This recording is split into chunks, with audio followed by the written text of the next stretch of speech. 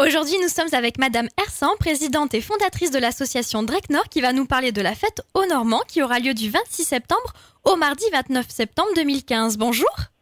Oui, bonjour. Donc ce n'est pas jusqu'au mardi 29, c'est le 26 septembre et le 27 septembre. D'accord, ok. Eh ben, excusez-moi, hein, il y a une petite erreur. Alors, qu'est-il prévu pour la fête au Normand Alors pour la, fête au Normand euh, à 40 ans, donc c'est ça se passe sur le port de 40 ans.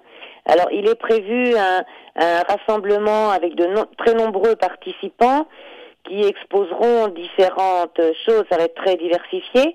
Donc il y aura un campement viking et ducal, donc une partie euh, 9e siècle et une partie euh, 11e siècle. Donc là, il y aura beaucoup d'associations. Euh, il y aura également des, des, danses, des musiques et danses traditionnelles normandes qu'on connaît, voilà, et qu'on voit de moins en moins malheureusement. Donc en fait, on, ça comprend toutes les périodes hein, de la Normandie. Il y aura également les jeux traditionnels normands qui sont connus hein, de la, avec l'association Technor. Et puis euh, il y aura une présentation des kilts du Cotentin.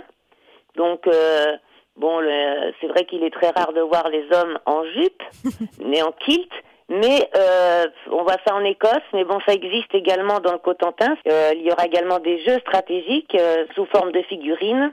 Donc c'est c'est également très intéressant parce que ça ça rappelle, enfin ça reproduit la bataille d'Hastings par exemple et puis d'autres batailles. Euh, animation de boxe sur ring pour les enfants toute la journée du samedi à mhm. l'extérieur. Et puis euh, des il y aura des présentations de langue normande, de l'artisanat local, alors démonstration de chevalerie. Donc là c'est très intéressant. Donc c'est ça représente Guillaume le Conquérant et donc c'est également une écurie. Alors tous ces gens-là viennent de très loin, il faut le savoir. Hein. on n'est pas tous de, euh, on est tous normands, mais euh, voilà, les gens viennent d'un peu partout.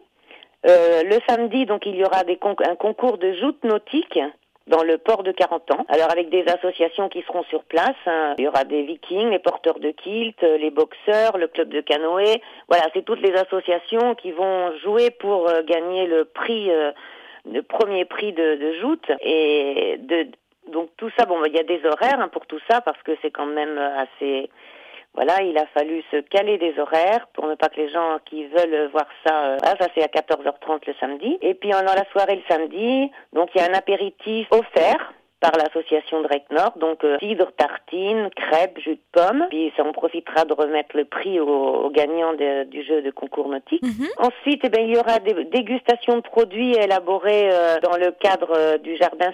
À 20h, eh bien, il y aura un défilé, on va dire un défilé enflammé parce que ce sont les Major Girls, donc des majorettes. Bien, merci Madame Hersan de nous avoir accordé un peu de votre temps. Je le répète, vous êtes la présidente et la fondatrice de l'association Drake Nord.